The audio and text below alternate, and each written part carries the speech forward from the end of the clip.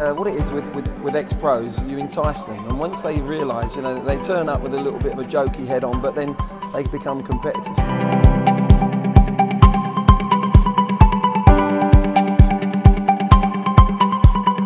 It's a concept we come up with, uh, F30 Legends, and it's uh, and uh, I've always looked at golf and tennis, and, and, and felt they were so lucky to continue their careers as seniors after they finish.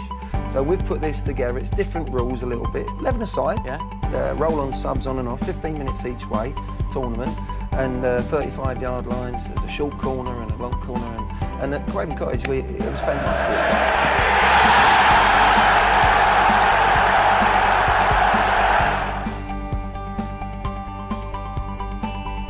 Highlight of our day has been Paolo Di Canio uh, disputing a penalty decision with Mark Halsey.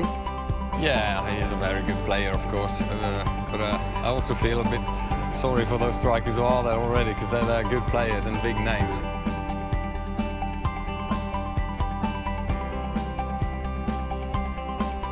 Some showed impressive commitment to be here.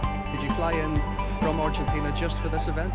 Yes, uh, it's a great honor for me to, to come in from Argentina and meet the old player, teammate, uh, and it's, it's really honor for me.